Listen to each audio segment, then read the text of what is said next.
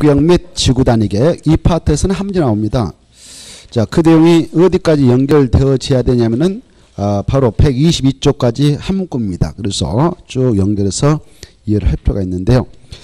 먼저 111페이지를 보시면은 아, 지구 단위 계획 의하고 그 다음에 지구 단위 계획과 지구 단위 계획 결정 이거 나와 있죠. 지구 단위 계획 의는 꼭 한번 새겨두셔야 돼요. 어, 그 의가 아주 중요하죠. 지구 단위 계획할 때 지자 앞에는 일이 숨어 있는데 한 개의 지구 단위를 만들 때는 도시 군계획 수립 대상 지역 전부에다 맞는다 일부에다 맞는다 일부 동그라미 쳐요. 일부에 대하여 뭐 하려고 만드냐 그 장소에 대하여 토지용을 합류하고 그 토지 기능을 증진시켜서 그리고 그 장소의 미관도 깔끔하게 개선하고 이양화하는 환경을 확보하고 그 지역을 보다 체계적 계획으로 관리하기 위해서 만드는 무슨 계획 일종이냐 마지막에 도시군 관리 계획 그렇죠? 도시군 관리 계획 그래 이 도시군 가로 결정합니다. 결정하니까 도시군가로 이 계획을 최종 결정고시 하니까 이 계획이 한번 결정고시 되면 그 계획은 구속력이 있다 이렇게 하시고 구속력. 그래서 이 계획의 내용들만 그 장소는 조성이 되어지고 있습니다. 지구 단위 계획에서 의의가 바로 중요한데 일부다 전부다 일부 그 말 일부지 전부하면 틀린다 뭐 다 아실 거예요 중요하다는 거. 의에서 이미 했거든. 의에서. 그 다음에 이제 두 번째 지구 단위 계획구역을 결정할 때 또 지구 단위 계획을 결정할 때 무슨 계획으로 결정한다? 도시 군 관리 계획 그대로 나와요. 그대로. 여러 번 나왔네 그거. 2번도 그대로 나와. 어, 지구 단위 계획구역과 지구 단위 계획은 다 무슨 계획으로 결정한다고? 도시 군 관리로.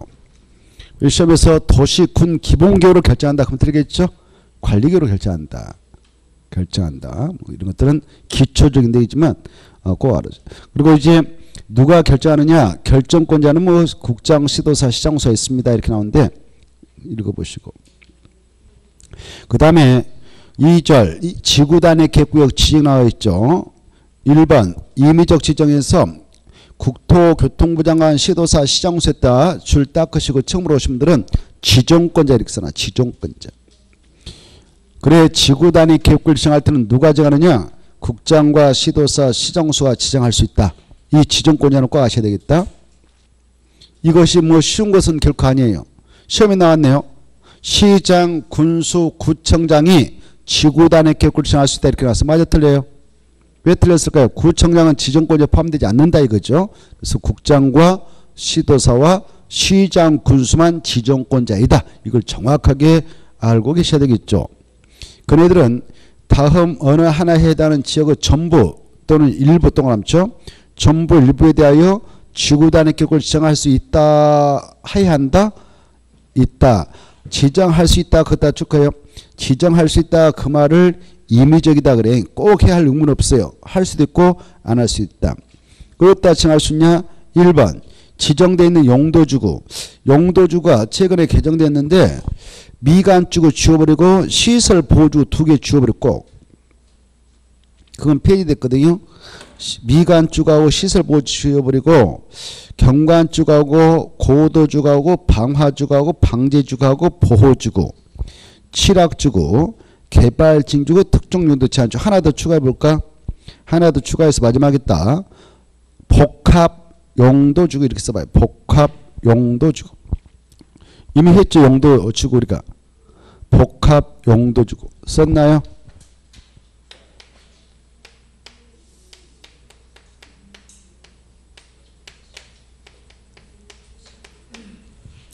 복합 용도 주고. 용도 지구는 총 몇 개 있다? 아홉 개. 아홉 개. 약주로 경고, 방방, 보치개, 특보 이렇게 계열했죠. 자, 그런 용도 지구에다가 꼭 지정해야 한다 할 수 있다. 지구 단위 격을 지정할 수 있다 그 말이에요. 예컨대 여기 지금 칠학주가 이렇게 지정되어 있다 이 땅에 이렇게 칠학주가 지정되어 있다면 여기 칠학주구인 땅 전부에다가 지구 단위 객을 지정할 수 있다 없다? 전부에다 지정할 수 있다 없다? 이 전부를 지구 단위 계획국이다라고 칭할 수 있어요. 이렇게. 아니면 칠학주로 정된 이 곳의 일부만 일부만 지구 단위 계획국이다라고 지정할 수 있다 없다? 있다 그 말에 알겠죠? 그래 지정되어 있는 용도주가 있다면 그 장소의 전부 또는 일부에다가 이 지구 단위 계획국을 지정할 수 있다. 자, 그래 이 지구 단위 계획국은 주로 어떠한 장소에 대처하냐? 제목 제2절 지구 단위 계획국을 지정할 때 옆에다 한 말 써봐요. 지구 단위 계획국을 지정 옆에다가 어, 개발 또는 정비 예정제 지정 그렇게 써놔. 개발 또는 정비 예정제 지정. 이 지구 단위 계획은 주로 어떠한 장소이면 지정할 수 있냐? 개발 예정지, 정비 예정지. 그런 장소에다 지정을 해 나갈 수 있거든. 그래 그런 장소에다 지정할 수 있습니다. 그래서 동그라미 1번부터 2번 2번 보면 도시발구역 있죠.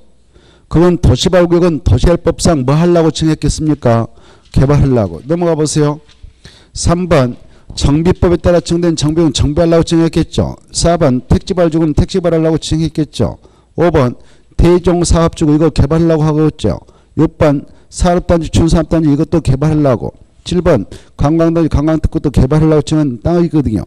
8번 개발 전격 도시장 공격 시가 정교 공원에서 해지된 지역 해제다 포인트 잡고 해제되면 개발할 수 있겠죠. 그래서 그것다 도 청할 수 있고 또 특히 녹적이 주거적 상업적 공유로 변경된 구역 이것도 개발의 여지가 생긴 땅이 됩니다. 그래서 그럴 때도 청할 수 있다 이렇게 좀 봐두세요. 그리고 도시로 편입되는 구역 중 계획적 개발 관리가 필요한 적이 있다고 정할 수 있구나. 이 정도 보시고 저기 9번에 3번 봐봐요.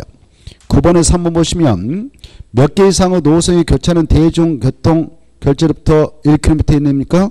3개. 거기다도 지정할 수 있구나. 이렇게.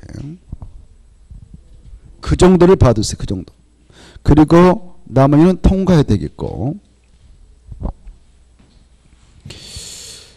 그 다음에 오른쪽에 1번과 2번 좀 봐두셔. 시범, 지정된 시범도시 오른쪽 페이지 넘어왔습니다. 지정된 시범도시에 따도 정할 수 있고 2번 개발행 허가 제한적에 따도 정할 수 있다. 이 정도 봐두세요. 네? 그리고 지금까지 지구 단위 계획을 지정할 수 있는 장소를 쭉 훑어봤어요. 그래 시험에서 어떻게 나냐면은 이제 금방 언급했던 지역을 드러내놓고요. 이런 지역에 지구 단위 계획을 지정할 수 없다 이렇게 나와. 그럼 되겠죠. 있다, 있다 이렇게 좀 봐두세요. 그래 지정할 수 있는 장소 보니까 주로 개발의 여지가 있는 땅, 정비를 할 수 있는 여지가 있는 땅 법적으로 그런 곳에다가 지구 단위 계획을 지정할 수 있습니다. 지정해 가지고 3년 이내 그 장소 이렇게 개발과 정비를 통해서 구체적 상세하게 조성하겠다라는 지구달 만듭니다. 지구달 만들어서 그 계획을 만들어서 딱 고시하고 고시된 지구단에 입각해서 그 장소를 예쁘게 조성을 해 나가게 되는데요. 이때 그 지구 단위 계획에서 허용하고 있는 건축물 딱딱 건축하도록 지시받아요. 그리고 그 계획에 반하게 그 공간을 이용하게 되면 입법자로서 처벌합니다. 어, 바로 2년 이하 징역 또는 2천만 원의 벌금을 처해서 그 계획대로만 그 장소가 조성되도록 규제하게 되는 곳이 지구 단위 계획구역이 되는데요. 이 지구 단위 계획구역을 정할 때는 도시역 내에 따도 정할 수 있고 도시역 여호적에 따도 정할 수 있습니다. 그 내용이 113페이지 나오는데 113페 보면 도시역 여호적에 따도 지정할 수 있는 장소 나와죠. 그걸 보기 앞서서 위에 2번 좀 볼까요? 아까는 지구 단위 계획을 지정할 때 지정할 수 있는 임의적 지정 대상을 보았고 오른쪽에 그 세 가지는요. 의무적 지정 대상을 규정하고 있어요. 여기는 꼭 지정해야 된다. 이건 필히 머리다 넣도록 하셔야 돼요. 거기 보면 의무적 지정 대상적해 가지고 박스가 있지 않습니까? 박스. 박스를 보기 전에 지정권자 국장 시도사 시정수는 다음에 해당하는 지역은 지구 단위로 지정하여야 한다 할 수 있다. 그렇다 줄 거예요. 그 말이 곧 의무적이다 그 말이에요. 그러면 어떤 장소냐? 1번 정비구역에서 택지발주구에서 정비사업이 완료된 후 사업이 다 끝났단 말이에요. 택지발 사업이 다 끝났단 말이에요. 완료됐다면 주택 등이 새롭게 탄생됩니다. 탄생되고 나서 10년이 하면 급속도로 노화가 될 가능성이 있는데 그렇죠. 행정처에서 철저하게 좀 관리해서 잘 처리하도록 하고자 의무적 지정 대상으로 규정하고 있어. 10년이 지난 지역. 정비구역과 택지 발육에서 그 사업이 완료된 후 몇 년이 지나면 꼭 지정해서 관리에 들어가야 되냐? 10년. 이 수칙과 함께. 약조력을 기억하실 때에 정택 10년 이렇게 암기해야 돼. 정택 10년. 정택 10년. 정자고 택자 10년. 그 다음에 이제 1번 시가와 조정구역과 공원 이걸 약자로 시공으로 해야 돼 시공 암기할 때 시공. 시가와 조정구에서 해제됐다 해제입니다 해제. 아까 시가와 조정을 칭해버리면 주택의 신축은 일제 금지된다 그랬죠. 어마어마 세죠. 근데 해제되면 급속도로 개발로 이어질 수 있는 땅이 되는 거예요 그거. 그리고 공원도 해제되면 급속도로 개발로 이어질 수 있는 땅이 돼요 그랬던 그 해지는 면적이 얼마 이상면 계획적인 도시를 조성할 수 있게 의무로 지정을 하도됐느냐? 30만 이 숫자 암기. 시공에서 해제 30만 용 대상 암기. 시공 해제 30만 용 대상. 역으로 30만 미만이다 그러면 지정할 수도 있고 안 할 수도 있어요. 시가와 조정에서 해제했는데 그 면적이 한 2만 원 해제했다 그러면 하여도 되고 안 해도 되는 거예요 의미적이에요. 얼마 이상일 때면 의무적이냐? 30만 거 알고 그 다음에 녹지 지역은 도시역의 일부의 땅인데요.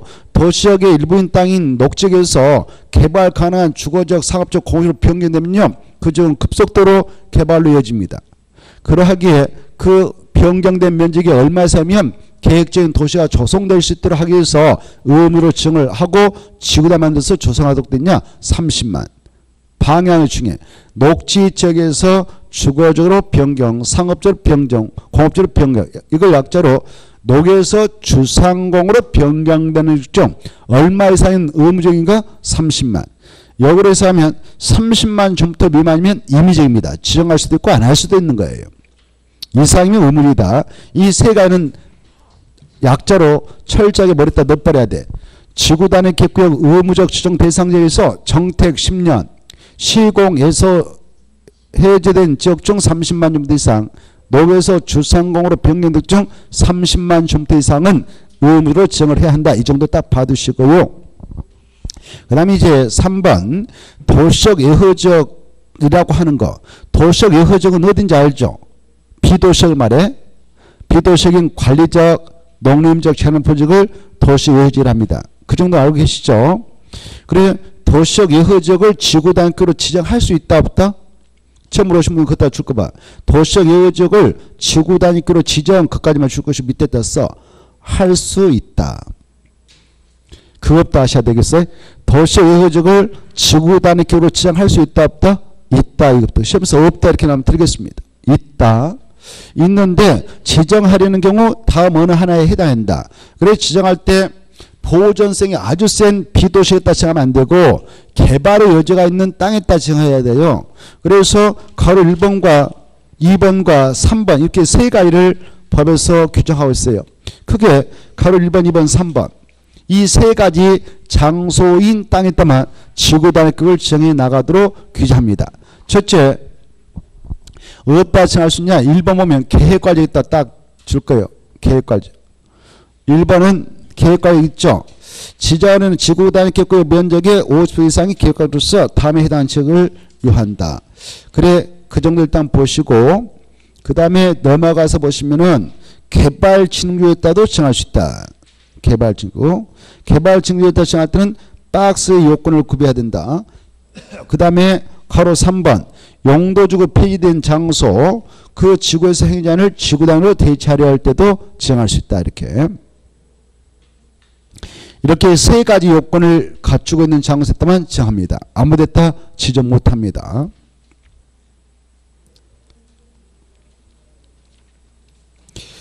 우리가 개발진흥주고 공부했습니까? 안 했습니까? 다섯 개가 있었죠. 개발진흥주고.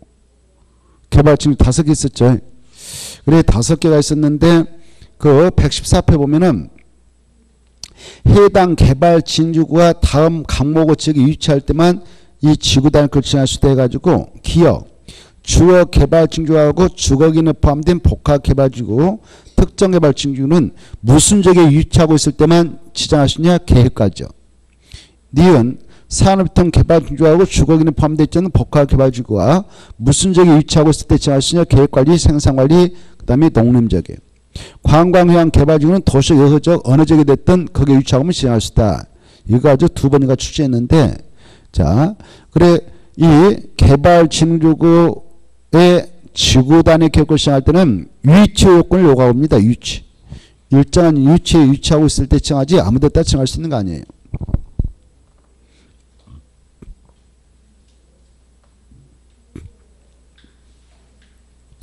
그래 이번 코스 뭐 그것까지 알기는 좀 힘드니까 일단 놔놓고 알면 좋겠지만 그거 일단 이 지구단의 계획을 지정할 때는 세 가지에 따라 지정할 수 있다. 세 가지. 계획 관리적으로 쓸장 요건을 구비하고 있는지요. 개발 진로 쓸장 요건을 구비하고 있는지요. 용도주 폐지하고 그 장소의 현장을 지구단을 대체하려는지요. 이런 세 가지겠다 지정을 할 수 있다. 이렇게. 그 다음에 115표 보시면은 지구단위 계획 내용 찾았나요? 이 지구단위 계획구역이 정되면 지구 단위 계획구역이 정되면 그 장소 이렇게 개발과 정비를 통해서 상세하고 구체로 조성하겠다 라고 하는 지구단을 만들어야 돼요. 이 지구단을 만들게 되는데 지구단 만들 때 포함시킬, 포함시킬 수 있는 내용이 있어요. 그 내용이 1번, 2번, 3번, 4번, 5번, 9번까지 있지 않습니까? 이런 내용을 포함해서 만든데 이 포함되는 내용 중 박스 안에 그거 같이 봅시다. 같이 읽어볼게요. 지구단위 내용에서 지구단위 결국 주목적으로 유령해야 해요. 지구단위기는 다음 각 호의 사항 중 몇 번과 몇 번의 사항을 포함한 둘 사항의 사항이 꼭 포함된다. 3번과 5번. 이건 중요해요. 3번과 5번의 사항을 포함한 몇개 사항은 꼭 포함되거든요. 두개 이상 이거 꼭 알아주시고 둘 이상이 네개 이상 하면 되겠다. 둘 이상이다. 둘도 꼭 동함치고 그래 무엇과 무엇을 꼭 포함해야 되냐? 3번 보시죠. 3번 밑줄 닦아버려. 지구단의 결국 지목적을 달성해 나갈 수 위해 달성을 위해 필요한 기반스를 배치고 뭐 그다 기반스를 배치고 뭐 그 정도. 기반스를 배치기 뭐 중요해요. 그 다음에 넘어가 봐요. 5번이 뭐냐면은 5번 5번은 건축물로 용도 제한 그 다음에 건축물로 건폐율 용적률 건축물 높이 체관도 체전도 이건 꼭 암기해야 돼 암기 체크했죠 그래 몇 번과 몇 번은 꼭 포함해야 되냐 3번과 5번은 둘 이상 꼭 포함해서 지구단 만들어가지고 고시하고요 나머지 사항은요 임의적 포함력이라고 그래 거기 6번, 7번, 8번 이런 거 있잖아요. 9번. 보고 계세요? 거기다 묶어봐요. 6번, 7번, 8번, 9번 이런 것들 묶어서 써요. 뭐라고 쓰냐면은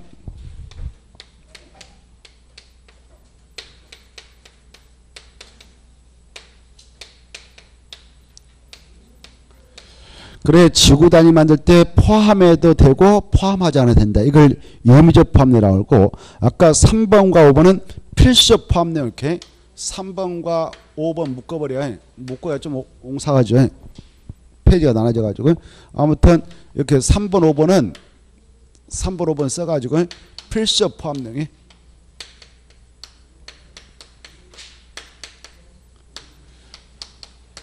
문제가 쉽게 나면 이게 함정아 이게 이게. 함정아 필수 포함능을 정확하게 알고 들어왔는가 이걸 출제하기도 하니까 필수 포함되면 달달달 해야 돼. 뭐할 것도 없지만 기반스로 배치급하고 건축물의 용도 제한, 건축물의 건폐율 용적률, 건축물의 높이 체제한도 체관들은 필수 포함능이다. 그거하고 6번하고 헷갈려서 한대요. 건축물의 형태, 색채, 배치, 뭐 이렇게 건축세나 사 이런 것들은 필수 포함능이다. 임의적이다. 임의적. 포함하시면 포함하는 것이고 포함하시는 많은 거예요. 어, 그런데 그 3번, 5번은 필수적이다. 이게 어마어마 중요해. 교통, 처리계 뭐 이런 것도 다 임의적 포함돼요. 포함할 필요가 있으면 포함하는 것이 의무사항 아니다. 이런 것들이 아주 시험에 잘 나오니까 잘 이해하시고 그래 두 가지는 꼭 암기해야 돼요. 무엇과 무슨 필수인가 3번과 5번. 자 그리고 다시 그 박스를 보시면은 동그란 1번 이번에 좀 내용을 좀 심화시켜서 봐야 되니까 동그란 1번 용도 지역이나 용도 지구를 대통령으로 정하는 범위 내에서 뭐하고 뭐하는 것을 포함할 수 있냐? 세분하고 평가하는 문제. 그래 이 지구단 만들 때 그것도 할 수 있어요. 꼭 포함에 대해 포함할 수 있어 이거.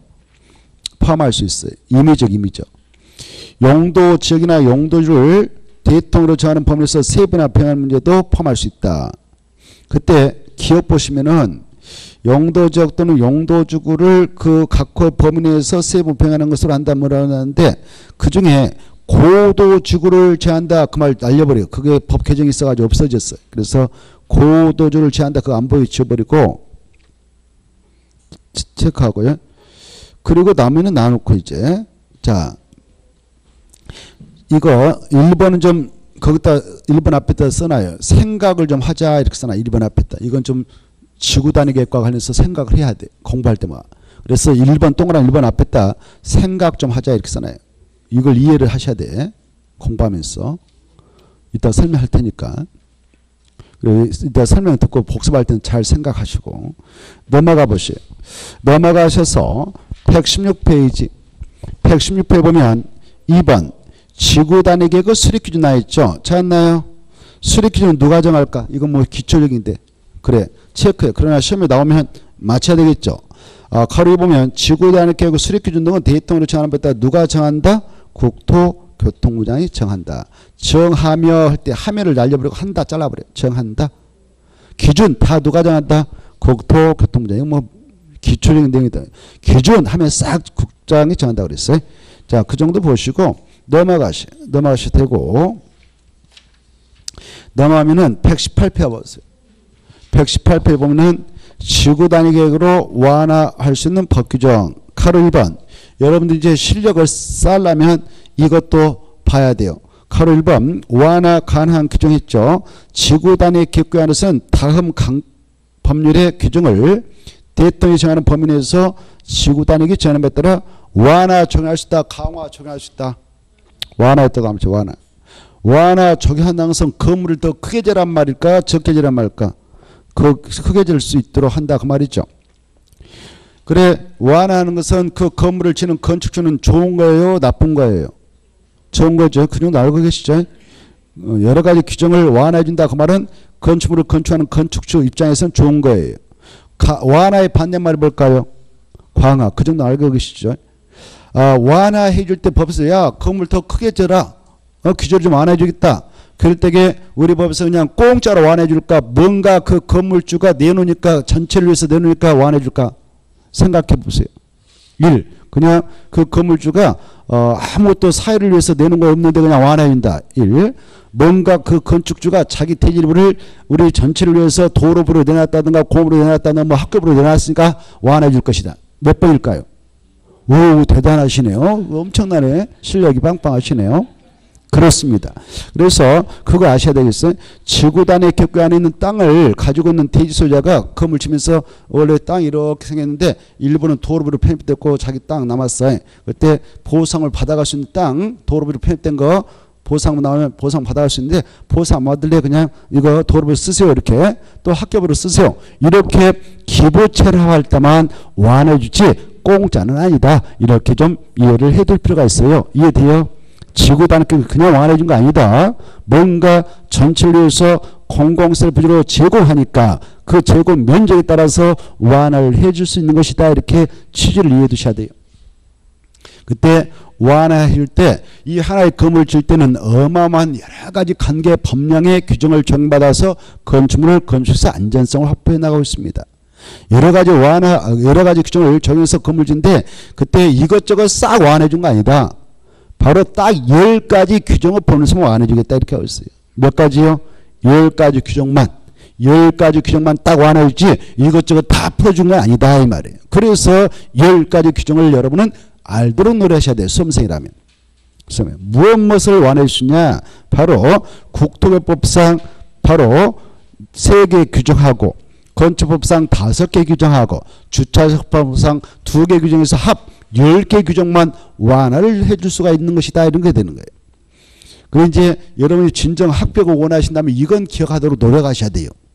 합격 원하면 합격을 간절히 원하거든 이걸 머리다 넣어도 노력하셔야 됩니다. 간절히 원하지 않으면 안 해와도 돼요. 그것은 여러분이 하고 싶은 건 하고요. 제 생각에 해버리면 낫겠다 이런 생각도 해봅니다만 달달달 해버려야 돼.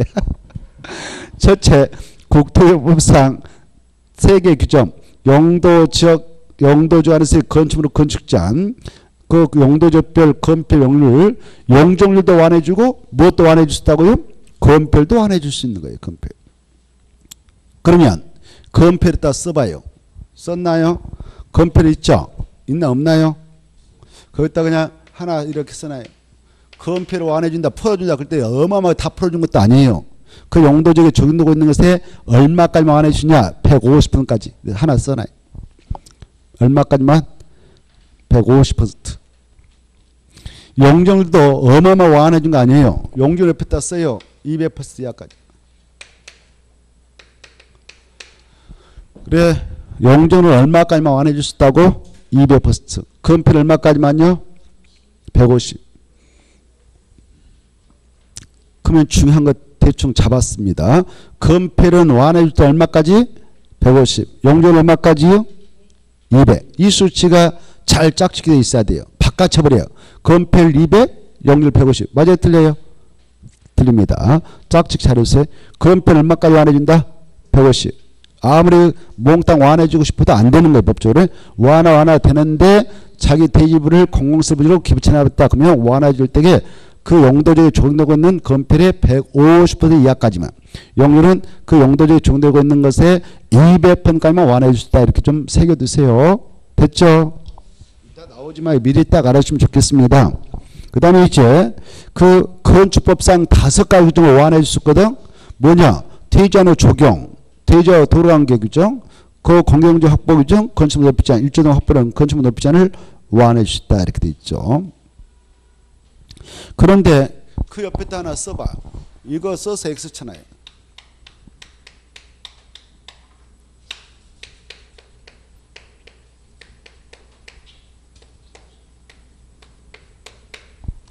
대지의 분할 제한. 대지의 분할 제한은 완화해주는 규정이 들어간다 안 들어간다? 안 들어가 안 들어가. 그것다 써서 X 치는 거예요. 그냥 건축법 옆에다가 건축법 옆에다가 대지 분할 제한 써서 X 쳐요. 우리 건축법 57조 보면 대지 분할 제한 규정 있어요. 이거 우리가 일순환 때 공부했을까 아닐까? 이 처음으로 오신 분이야 뭐 처음 들어본 소리니까 모르겠지만 일순환 때 우리가 건축법상 건축 있는 대지 분할 제한 면적 공부했을까 안 했을까요? 건축 있는 대지는 이 면적에 못 미치게 분할할 수 없다라는 대지 분할 제한 규정 했을걸.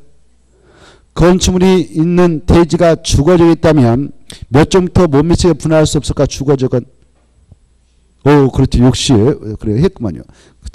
욕심. 아, 대단하셔. 그래, 지금 무슨 말을 한지도 모르신 분도 있을 거예요. 일순환 같이 했는데도 불구하고. 그 다음에 상업적 150, 공업적 150, 녹적 200, 나머지 기타적 60 이런 거 했거든. 아무튼, 그걸 대지 분할 제한 규정이라는데 그 규정은 완화해 준 것이 아니다. 이게 중에. 그것다. 이것까지 완화해 준다, 안 해준다? 안 해준다. 이렇게. 이거 가지고 두 번 출제했네요. 이거 가지고. 그래, 지금 완화해 주시는 규정을 10가지 보고 있는데 10가지 중에는 대지 분할 제한을 해주는 거 있다 없다? 없다 이렇게 대지 분할 제한은 완화해 준 규정에 안 들어간다. 그래 어떤 걸 완화해 주냐 대지와 도로관계 규정 대지와 그 다음에 대지하는 적용 문제 적용 문제 공경적 확보 그 다음에 건축물 높이지 않 일조동 확보랑 건축물 높이지 않그 다음에 주차장법상 두 가지 완화해 주죠. 부설 주차장 설치, 부설 주차장. 주차장인데 타가 나 타가 아니라 주차, 오타나. 부설 주차장의 설치 계획. 자, 일단 그 정도 보시고 그 다음에 통과해도 되겠습니다. 쭉 넘어가셔서 어디 가느냐 이런 거 볼지 마시고 혼란스러우니까 120페이지 120회 보면은 6번이 있을 거 6번 6번 찾나요? 주차장 설치기 노하나 찾았죠? 120페이지 6번 주차장 설치기 노하나 아까 이 지구 단위 교권에서는 주차장 설치기 완화해 줄 수 있다고 그랬잖아요? 그럼 줄때 얼마까지 완화냐? 자, 이 지구 단위 계획 지목적이 차 없는 거를 조성하기 위해서 한옥마을을 보존하고자 정했다면 그 건축물 건축할 때 부설 주차장 설치를 얼마까지 완화해 주시냐? 100%까지. 얼마까지요? 100%까지 완화해 준다는 것은 주차장 안 만들어도 된다 그 말이에요. 지구 단위 계획 지목적이 한옥마을을 보존하자. 차 없는 거를 조성하자. 이렇게 했다면 지구 단위로 주차장 법에 따른 주차장 설치를 몇 번까지 완화해 줄 수 있다? 100번까지. 여기 여기 봐봐요. 이 지구 단위 계획을 지정하게 된 목적이 바로 한옥마을을 보존하기 위해서 한옥마을 한옥마을을 보존하기 위해서 정했다면 이 여러분이 한옥마을을 보존하고자 하는 지구 단위 계획 들어서 대지 급여 가지고 한옥지 한옥 한옥 뭐냐면 나무하고 볏집하고 흙을 섞어서 지는 집을 한옥이라고 그래. 한옥. 한옥마을에 들어가서 이 돼지 급여가 한옥 지려고 한다. 그때는 이 건물 안에 부설창을 원래 설치하도록 돼 있는데 부설창 설치는 완벽하게 100%가 완화받을 수 있어요. 여기서는. 왜? 여기 차 이렇게 차가 현대차가 왔다 갔다 하면서 여기 동네 왔다 들락날 해버리면 집안 흔들려서 이 한옥이 붕괴될 수도 있고 그러니까 흙집이니까 예, 그래서 어, 이 한옥마을을 조성하고자 지구 단위 계획이 정된 장소에서는 각각 대진했다 이 한옥 건물 질 때는 어, 부설창을 100% 완화받으니까 부설창 안 만들도록 해줄 수가 있어. 그리고 그 동네 가보면 동네 입구에다가 공용차 만들어 공용차. 공용 주차 만들어가지고 야 여기다 주차하고 들어가라 이렇게 하고 있어요. 그래 한옥마을을 조성하고자 바로 지구단에 결정됐다면 그 안에 들어가서 한옥 건물 질 때는 부설 주차장 원래 이 하나의 주택을 지려면 최소한 부설 주차장을 한대 주차할 수도 건물 건축하고는 대기하는 때가 어, 주차장 확보해야 되는데 그렇게 할 필요 없다. 100%가 안 해주니까 아예 부설 주차장을 안 만들도 된다 이름이에요. 이름이에요.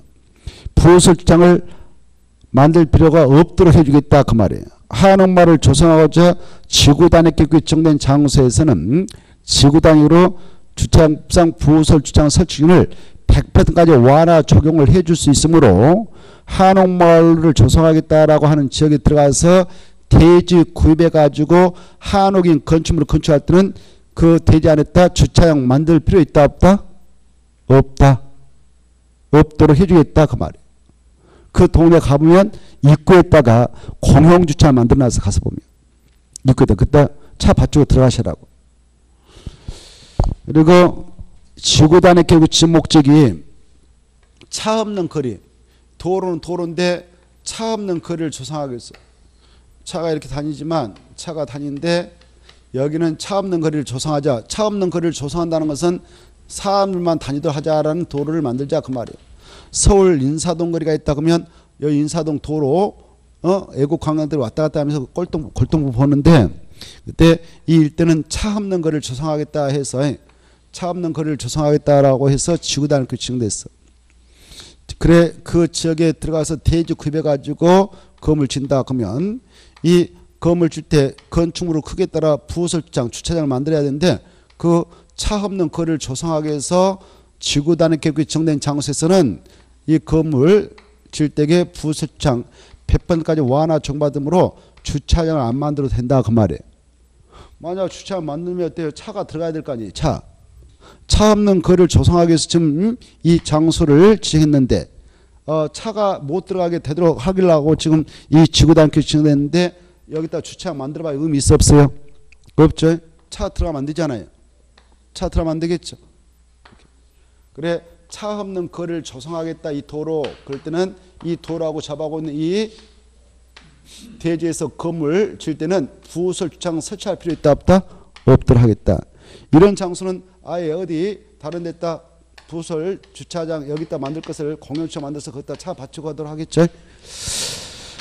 차 없는 거를 조성하기 위해서 지구단위계 결정된 장소에서는 부설 주차장 설치기를 몇 평까지 완화 적용해서 주차장 만들지 않아도 되냐? 100평까지. 그 다음에 오른쪽도 모셔가지고 121페이지 하단부 제일 밑에 아까 체크한 건데요. 제일 밑에 하단부 보면은 도시적 예후지역 지구단위께서 규정 완화해가지고 마지막에 세 줄이 도시적 예후 지구단위 계획에서는 지구단위로 해당 용도적 개발 중개 조들은 건폐를 얼마까지 완화 적용할 수 있냐? 150. 용도는 얼마까지? 200 까지 완화 적용을 해 줄 수가 있구나 좀 받으시고 넘어가 보세요. 넘어가서 보시면 바로 122페이지 아, 2번 2번 아니라 4번의 1번과 2번 4번의 1번과 2번은 중요합니다. 지구단위 계획구역 지정과 지구단위 계획 결정 실무이 나오는데 가로 1번 지구단위 계획구 지정에 관한 도시군갈계 결정으로부터 3년 이내에 그 활동을 하면 3년 이내에 그 지구단위 계획구역에 관한 지구단위 계획이 결정 고시되는데 만약 결정 고시되면 그 3년이 된 날 다음 날에 바로 그 구역의 지정은 효력을 잃는다. 3년 3년 다음 날 효력을 잃는다. 효력을 잃는다 약자로 실효. 실효되면 그 사실을 직접시 고시해 줍니다. 저기 가로 3번 나오는데 그 다음에 2번 주민이 입안 제한한 것에 한정해서 지구 단위 계획 결정 고시부터 5년 5년이란 말 중에 5년에 이 법 다른 법률에 따라 허가 인가 등을 받아 어, 사업 공사에 착수하지 않으면 그 5년이 된 날의 다음 날에 그 지구 단위 계획 결정은 효력을 잃는다 이렇게 5년년 다음 날 계획 결정 효력이 있다. 그 다음에 가로 4번 지구 단위 계획구에서 건축물을 건축 용도를 변경한다든가 공간을 설치하려면 무슨 계획에 맞게 해야 되는가? 지구 단위 계획에 맞게 해야 된다. 마지막에 땄어요. 맞게 해야 한다 옆에다 이를 위반한 자는 씁니다. 이를 위반한 자는 2년 이하의 징역 또는 2천만 원 병치한다 이렇게 하나 써놓으세요. 이를 위반한 자는 몇 년 이하 또는 몇 천만 원 병치하는가? 2년 이하 또는 2천만 원 병치한다 이렇게. 자 지금까지 했던 내용을 한번 보겠는데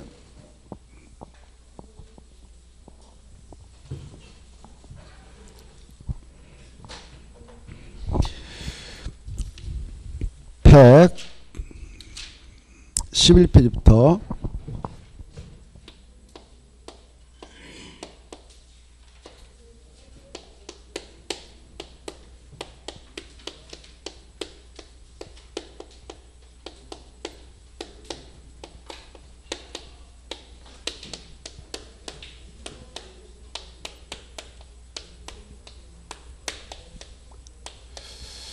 이 계획은 지구 단위 계획은 이 구역이 지정되었을 때만 수립되는 계획입니다. 그리고 이 구역은 이 계획을 만들어서 그 장소를 보다 구체고 상세하게 조성해 나갈 필요가 있을 때만 지정을 해 나가게 되는 것이 지구 단위 계획 구역입니다. 이 지구 단위 계획은 주로 어디다 정하느냐? 법적으로 그 지역의 특성상 이거 할 수 있는 장소 개발 또는 정비를 할 수 있는 장소 그런 예정지인 곳에다 법적으로 지정을 할 수 있어요. 자, 그래 이 지구 단위 계획 구역을 지정하게 될 때 이 구역을 지정한다. 그때 지정권자가 있는데 지정권자 아까 누구누구 있었습니까? 국장도 할 수 있다고 그랬고 시도사도 할 수 있다고 그랬고 그 다음에 시장 군수까지 할 수 있다고 그랬죠. 이자들이 아니면 절대 할 수 없어요. 그리고 이자들이 하여 이렇게 지구단위 계획이 딱 지정 고시 됐다. 지정 고시 되면 이 장소 이렇게 이렇게 개발과 정비를 통해서 상세하고 구체적에 구체적으로 조성하겠다는 계획을 만들어서 고시야 이 구역이 유지했는데 그 계획이 무슨 계획이냐 지구단위 계획 이 지구단 얘기를 3년에 늦어도 3년에 바로 수립해 가지고 결정 고시를 해 놓아야 이 구역이 살아 숨쉽니다.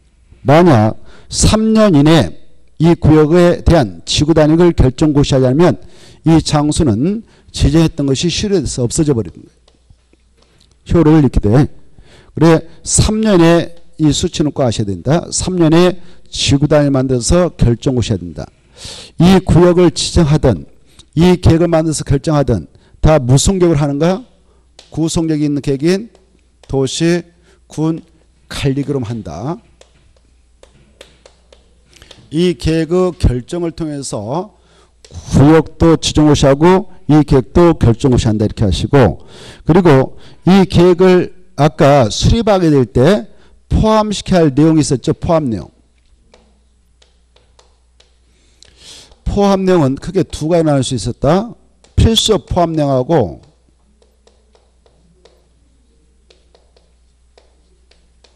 필요하면 포함할 수 있는 이미지 포함 내용이 있었죠. 이미지 포함 내용이 있었는데 필수 포함 내용은 몇 이상이 꼭 포함된다고? 둘 이상. 둘이 뭐였느냐? 첫째 기반시설 배치기 뭐해?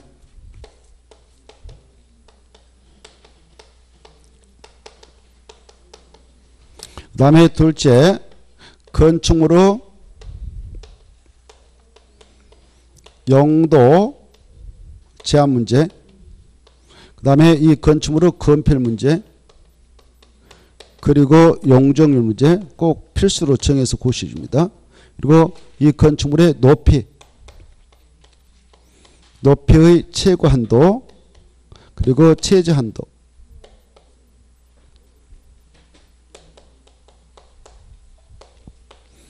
이걸 필수로 포함한다 그랬죠. 그리고 이미지 포함이 많았습니다. 그 중에 건축물의 뭐 색채라든가 형태라든가 그리고 배치 문제 그리고 건축성 문제 이런 것들은 필수겠습니까? 이미지겠습니까? 이미지겠죠. 그리고 아까 첫머리에 용도적 용도지구 대통령이 정하고 있는 범위 내에서 대통령에서 정하고 있는 범위 내에서 용도 지역과 용도 지역에 무엇과 무엇도 필요하면 포함해서 고시할 수 있냐? 세분과 변경 문제. 이런 것도 임의적으로서 자 그래. 이 지구 단위 계획구역을 지정했던 장소가 있다. 그랬을 때 이 장소, 이 계획을 만들어서 보다 구체적이고 상세하게 개발 정비를 하고자 이걸 지정하는데 이 계획을 만들 때 필수 포함 내용으로는 이 지역에 들어설 기반설, 도로면 도로 이렇게 배치하겠다. 이런 도로, 뭐 공원 여기다 배치하겠다. 이런 것들을 기반설이라고 기반설. 이런 기반설을 배치하고 그리고 규모 도로는 뭐 20차선을 하겠다. 여기는 18차선으로 하겠다. 이런 규모를 꼭 정해야 돼. 배치하고 규모는 필수로 정합니다. 공원이 여기다 배치하는데 규모는 얼마다. 여기다 뭐 터미널 배치하는데 여기다 규모는 얼마 한다. 이런 것들이. 이런 건다 기반설이거든요. 기반설. 광장, 시민광장 여기다 하겠다. 뭐 이렇게. 이런 것들은 바로 배치하고 규모 이 지역에 들어설 기반설의 배치구는 필수로 정해줘야 돼요. 그 다음에 이쪽 블록 땅은 이쪽 블록 땅은 바로 건축물 용도를 정할 때 여기는 이런 건축만 건축을 하겠다라고 딱 용도를 정해주는데 여기는 주택만 건축을 하겠다. 주택 중에서도 아파트만 짓도록 하겠다. 이렇게. 이렇게 딱 용도를 정해내죠. 그리고 건폐는 얼마 적용한다. 용을 얼마 적용한다. 높이는 얼마다. 최저한도 이런 것까지 정해버립니다. 그리고 여기는 교육시설에 해당하는 건축만 건축을 하겠다. 이렇게. 여기는 의료시설만 해당하는 건축을 하겠다. 이렇게 딱딱 정해버려요. 그리고 문화시설에 해당한 것만 건축을 하겠다. 이렇게 이 계획하여 이런 용도를 꼭 확실히 정해서 고시 하도록 되어 있어. 이 계획에서 허용하고 있는 용도의 건축물을 건축해야 되는데 저쪽에 있는 땅 아까 아파트만 지도록 되어 있는 땅인데 자기 마음대로 열비를 진다. 그건 위법이 되는 거예요. 위법. 그럴 때는 2년 이하 징역 또는 2천만 원 벌금 한다고 했지 아까. 그래서 이 계획의 실효성을 확보해 나가고 있습니다. 이 계획이 이 구역을 대상으로 해서 수립되어서 딱 결정 고시되면 고시된 이 계획의 내용들만 이 안에 있는 땅 가지고 건축물 건축하나 건축물 용도변하거나 공장을 설치해야 되지 이 계획에 반하게 건축 용도변하다 걸리면 위법자로서 처벌받는다 그 말이에요. 그래서 이 계획의 실효성을 확보하고 있다 이렇게 이해하실 필요가 있어요. 이 계획이 결정것이 되면 이 안에서는 법이 되버립니다. 이 계획이 이렇게 하시고 그리고 이 장소 이 장소를 지정할 때에 바로 이 지구 단위 계획을 지정할 당시 원래 이 지역의 땅이 제 1종 일반 주거지였다고 가정해봐요. 제 1종 일반 주거지는 법적으로 아파트를 건축할 수 있냐 없냐 없습니다. 제 1종 일반 주거지은 법적으로 4층 이하밖에 못 지거든. 그래서 주택으로 쓰는 층수가 5개층 이상인 주택을 아파트를 하는데 아파트를 질 수 있는 땅은 없습니다. 이쪽에. 그런데 이번에 이쪽에 주택난을 해소하기 위해서 여기다 아파트만 집중적으로 좀 건축을 허용하고 싶다. 그리 할 때는 여기다 지구 단위 계획을 정할 수 있어요. 지구 단위 계획. 지구 단위 계획을 정해 가지고 지구 단위 만들 때에 이 용도죠. 원래 일종 일반 주거진 땅인데 이 땅만 바로 용도 지역을 변경해서 고시할 수 있어요. 제2종 일반 주거적이다. 2종이 됐던 또 제3종 일반 주거적 때 이런 땅은 아파트를 질 수 있는 땅이 되거든. 그래서 지구단 만들 때에 제1종인 이 땅을 이 정만 제3종 일반 주거이다. 제2종 일반 주거이다. 라고 필요하면 여기다 담아서 고시하면 돼요. 그러면 용도적을 뭐 할 수 있다고 변경도 할 수 있다. 이렇게 하셔야겠어요. 이해돼요? 그래. 지구 단위 계획을 만들어 가지고 지구 단위 계획으로 지정된 장소에서 지구 단위 만들 때는 용도적을 뭐 할 수도 있다고요? 세분할 수도 있다. 변경할 수도 있다. 또 여기 봐봐. 원래 이 땅이 이 땅이 전체가 그냥 일반 주거로만 지정돼 있었어요. 일반 주거로만 지정돼 있는데 일반 주거적은 몇 종 몇 종으로 세분이 가느냐? 1종, 2종, 3종까지 세분이 가능해. 그래서 지구 단위 계획을 딱 지하고 나서 이 땅만 제 2종이다. 제 3종이다. 라고 지구 단위 만들 때 세분에서 딱 고시하면 세분 고시가 되는 거예요. 이렇게. 그래 지구 단위를 통해서 용도적에 무엇과 무엇을 할 수 있냐? 세분과 변경도 할 수 있다. 이렇게 이해를 해 두시고 그리고 용도지구 마찬가지. 용도지구도 원래 이적 이 지역이 바로 이게 이 지역 땅이 이 지역 땅이 원래 여기 개발 진로 지정돼 있었어 개발 진로 이 땅이 개발 징조 지정돼 이 땅이 원래 개발 징조였는데 이쪽만 이쪽만 주거 개발 징로 바로 해주고 싶다. 이 개발 징조는 다섯 개 있거든. 주거 개발 징조, 산업유통 개발 징조, 그다음에 관광형 개발 징조, 그다음에 복합 개발 징조, 특정 개발 징조 이렇게 다섯 개 있거든. 근데 여기 원래 개발 징조다라고 지정이 되었었는데 그 속에다가 지구 단위 걸 지정하고 3년에 지구단 만들 때에 그 저쪽 블록에 있는 땅은 주거 개발 징조다라고 용도를 세분해 가지고 고시하면 용도주고 세분도 가능해요. 또 원래 이 땅은 주택을 질 수 없는 그런 산업통 개발 진후에 딱 가져갑시다. 그랬던 땅을 지구 단위 경을 정해가지고 주택을 질 수 있는 땅으로 해주기 위해서 바로 여기는 산업통 개발 중 하나 이게 주거 개발 중이다라고 용도를 변경해 나갈 수도 있어. 지구단을 만들어가지고. 그래서 지구단을 통해서 용도 지구의 변경도 가능하다 이렇게 하시오. 그래 지문에 이런 말 하면 맞은가 봐봐요. 이 지구 단위 계획 수립을 통해서 주거 개발 징유를 산업통 개발 징유로 변경할 수도 있다. 라고 한다면 맞을까 틀릴까? 국문에서 물어보는데. 맞아요 틀려요? 맞죠? 평양할 수 있다고 그랬잖아요. 지구 단위 수립을 통해서. 그쵸? 자, 그래 영도 지구의 변경도 할 수 있다 없다? 있다. 무슨 계획을 통해서? 지구단위 수립을 통해서 할 수가 있다. 아무튼 이 아까 그래서 1번을 잘 생각해 두시라고 그랬지 아까. 1번. 그렇죠? 이걸 가지고 종용 출제하니까 잘 이해하시고 그 다음에 봐봐요. 이 지구단위 계획 안에서는 이 계획이 딱 결정고시 되면 고시된 지구단위 계획 내용대로만 그 장소와 개발과 정을 통해서 조성되므로 이 지구단위 계획에서 허용하고 있지 않는 건축물은 바로 절대 건축할 수 있다 없다? 없다 이렇게 하셔. 고로 이 땅이 원래 봐보세요. 원래 이 땅이 상업적에 있는 땅이 있다고 가정해봐. 상업적은 법적으로 숙박설도 건축할 수 있고 유락설도 건축할 수 있어요. 알겠나요? 그런데 그 상업적인 땅에다 지구 단위 계획을 딱 정하고 지구 단위 계획 구역을 정한 후에 지구 단위 만들어서 결정하셨는데 여기 보니까 여기 여기면 아파트져라 여기는 교육설인 학교 같은 거 져라 어르신 병원 같은 거 져라 문화미 집회설 이런 것만 져라 이렇게 딱 고시했다면 여기는 숙박설 질 수 있는 땅이 있다 없다? 없죠. 유락설도 질 수 있는 땅 없죠. 그래서 지구 단위에서 허용하고 있지 않으면 건축할 수 있다 없다? 없다. 비록 상업적에도 여기는 지구 단위에서 허용하고 있지 않으면 건축 못한다. 지구 단위에서 허용하고 있는 것만 건축하도록 규제받는다. 이렇게 이해해 두시면 좋겠습니다. 지구 단위에서 허용하지 않으면 건축할 수 있다 없다? 없다. 이렇게 좀 알아주십시오. 자, 그 다음에 이 지구 단위 계획구역을 정하게 될 때 지정권자들 아까 이 구역을 정함에 있어서는 이렇게 이 구역을 정할 때는 천 국토가 이렇게 있다. 천 국토는 도시역도 있고 도시역 예허지역도 있잖아요. 크게 보면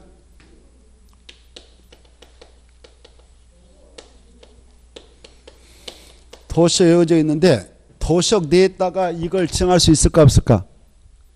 당연히 있죠. 있습니다. 그래 아까 했어.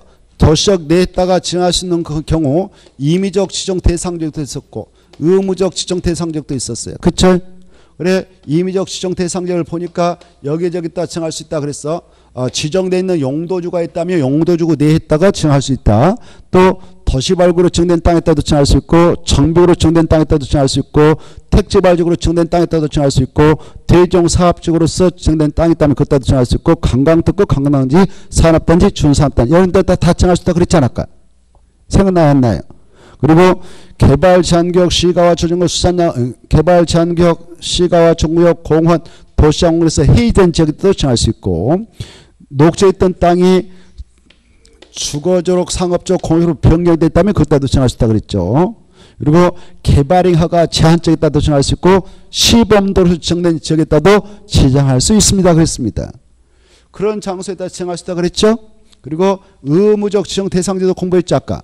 약적으로 뭐라 했나요? 정태 10년. 여기다 꼭 지정해라. 그 다음에 지정할 수 있는 장소 중 시공에서 해제됐는데 그 면적 얼마 이상이면 30만 정태 이상이면 의무적으로 지정한다 그랬어요. 미만이면 임의지고 또 세 번째 무슨 지역으로 변경했다면 녹지에서 주거 상업 공업지로 변경했다. 녹지에서 주거 상업 공업주로 변경된 적 중 얼마 이상이면 꼭 지정한다. 30만 정대 이상이면 의무지다. 미만이면 임의지고요. 이렇게 그런데 도시역 예허지겠다는 또 지정할 수 있는가 없는가? 있다 없다 아까 했어요. 있다 없다. 있다 그랬어요. 있는데 도시적 예어적은 용도적상 관리적, 롱림적 차량을 보여줄 말하잖아요. 그 정도 알고 계시죠? 그래 이 도시적 예허적은 그런 적을 의미하는데 그 도시적 예허적을 들여다보면 관리적도 있고 농림적도 있고 차량 보정이 있습니다만은 이 지역은 개발이 쉬운 땅이 별로 없단 말이에요. 그 지역의 특성상. 하나 이 관리적은 다시 세 가로 세분되잖아요.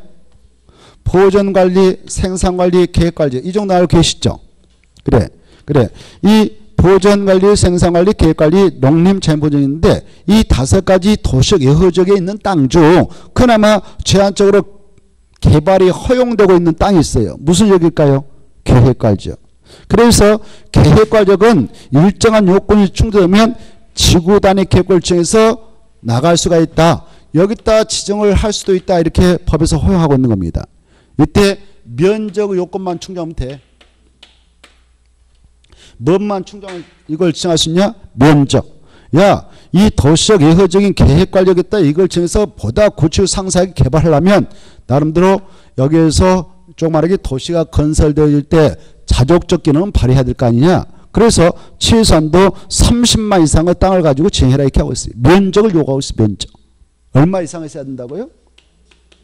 얼마? 30만 정도 이상. 그런 게 있어. 몰라도 되는데 일단 꼭 알고 싶은 분들 위해서 지금 말씀드린 거예요. 얼마 이상 있어야 된다고? 30만. 아파트 옆에 건설을 하려고 할 때 30만 이상은 있어야 된다 그렇게 하고 있어요.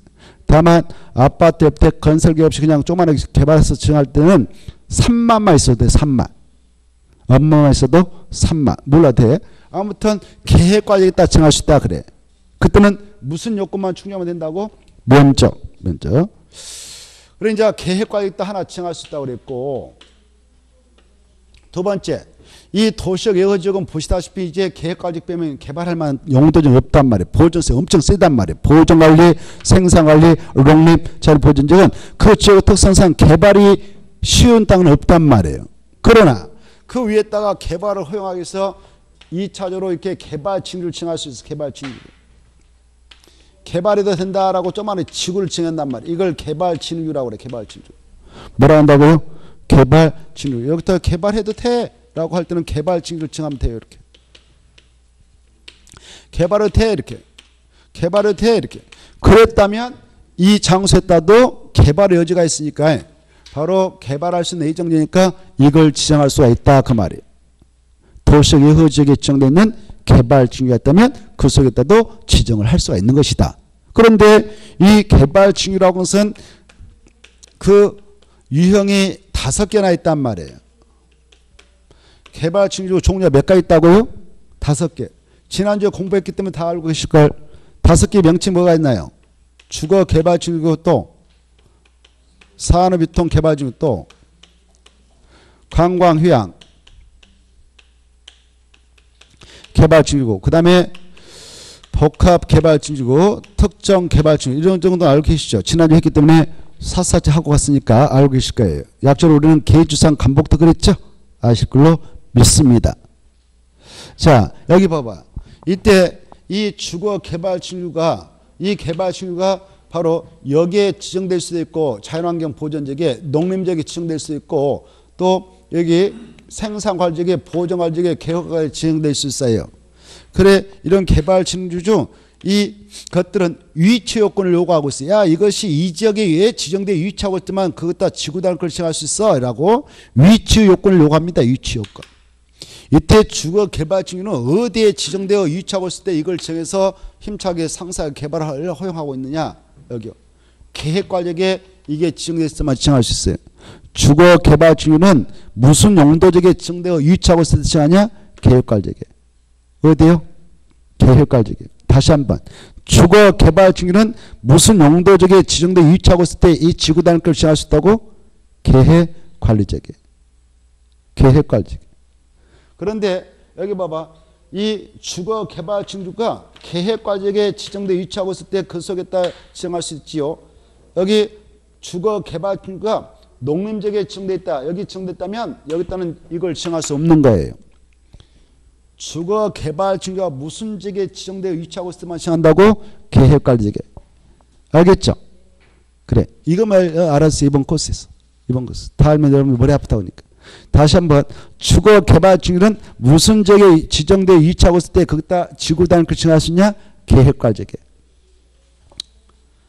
자 그리고 이 산업통 개발 중은 어디에 위치하고 있으면 지정할 수 있냐? 계획 관리에도 생산 관리에도 농림적이 세 가지에 지정돼 위치하고 있을 때 지정할 수 있고요. 관광 휴양 개발 중은 여기 여기 여기 여기 여기 다 지정되어 있었다면 무조건 지정할 수 있어. 그 속에 있다. 관광 휴양 개발 중에는 도시적 예허적에 위치하고 있으면 그냥 지정할 수 있어요. 자, 그 다음에 아까 이제 이 지구단의 계획을 정해가지고 그 안에서 지구단 만들 때 최소 아까 몇 년에 만들어서 결정하셔야 된다고 해서 3년. 만약 3년에 결정하셔야 면이 구역은 3년이 된다 한 말에 효를 이렇게 돼서 없어져 버립니다. 그리고 여기 여러분이 이 안에 땅을 가지고 있는 사람이었어요. 이렇게 땅을 가지고 있었는데 이 도로 부지로 편입될 땅이 이렇게 있고 여러분 땅이 있다. 그때 이 보상을 받아갈 수 있지만 땅 값을 받아갈 수 있지만 나 땅값 안 받고 기부채나 해볼래요. 그냥 공짜 내놓을 테니까 알아서 가져가세요. 보상 안 받고. 그랬다면 여기다 건물 질 때 허용되는 이 건물 질 때 인센티브를 적용받습니다. 아까 건축물과 관련된 여러 가지 관련 규정을 완화 적용받을 수 있다고 그랬어요. 완화 적용받을 때에 바로 몇 가지 규정에 포함해서 완화받을 수 있냐? 10개. 몇 개요? 10개. 아까 그 국토협상 3개, 건축법상 5개, 주차법상 2개에서 총 10개의 범위에서 완화할 수 있는데 특히 건폐율은 저 용도적에 적용되고 있는 것에 얼마까지 완화할 수 있다. 이 건폐율은 150% 이내까지. 용도는 얼마까지요? 200%까지 이렇게 수치고 알아주시고 그 다음에 여기 이 지구 단위 계획구역의 수립과 변경 그리고 지구 단위 계획 지정과 변경 이 건은 이네들이 행정청이 국장 시도사 시장수가 직권으로 이 것을 하게 한 도시 군관리를 입안에서 결정 고시하죠 이런 걸 하지만 직권으로 그러나 우리 주민들에게도 이 건을 해 주세요자고 이네들한테 입안을 전하도록 호용합니다. 그래 우리 주민에게도 이 건에 대해서는 바로 이네들한테 좀 해 주세요라고 입안을 할 수 있는 친구들한테 입안을 제한할 수 있어요. 주민들이. 그래 이 입안 제한이 있어가지고 이네들이 반영해서 이걸 지정하고 이걸 만들어서 결정고시였어 이네들이. 그랬다면 지네들이 원했던 뭔가 사업이 있었으니까 해달라고 했을 거 아닙니까?